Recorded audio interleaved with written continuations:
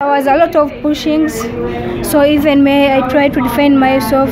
Even I had to make my mind to be strong because I was targeting to, to make it to final. So however much it has been a tactical race, I, I had to be smart in my mind that any gap I get, I have to utilize it well. Because my target was it was running the outer lanes, but when we started it was not easy. So I had to be calm in my mind, targeting that any space I get, I have to utilize it in the right way. Um, what do you have to say about that moment where you're trying to get up, but you just couldn't?